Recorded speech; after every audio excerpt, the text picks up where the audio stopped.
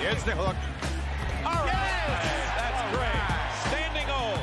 Three-point shooting is 28th. That means they're dangerous to the Denver Nuggets. Yeah, right. LaMelo, long range, got it. Didn't come into the NBA as much of a three-point shooter, but he has improved. The Nuggets missing Michael Porter Jr. and Collin Gillespie, who hasn't played all season because of a broken leg, as Plumlee lays it in right around the corner. LaMelo eyeballing. In on Jeff Green, around Jeff Green, lay it up and in.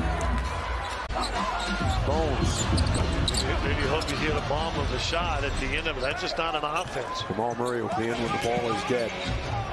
Now Haley got it. And it's 30 to 20. Good find over that screen by Jamal. Biggest lead was 12. LaMelo in the lane, put it up and in. Amazes me when guards always jump on those moves. Now LaMelo ball again, and he's barking at Leon Wood. Murray with a bad pass out of the reach of Nikola Jokic. So the Nuggets turn it over. And the lob and the dunk is good. So just when the Nuggets closing in, Scott. LaMelo splits. Corner three on the way. That's good. Good pass. Two on one, you don't get anything out of it. Murray struggling a bit. Now the shot is blocked by Brown. Out to LaMelo, who launches, and wouldn't you know it? Jokic, Dwight Howard, Anthony Tolliver, Lorenzen Wright. All with 20 and a half. Plumlee.